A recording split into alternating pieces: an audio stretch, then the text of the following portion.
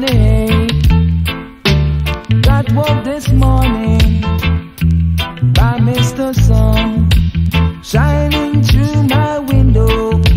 I say hello, sun. I say hello, sun.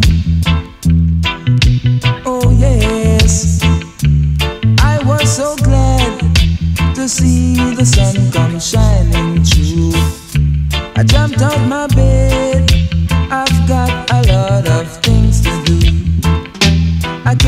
Can't time. Time is so precious to me. If I waste time, I'd be right behind the line. And who to tell?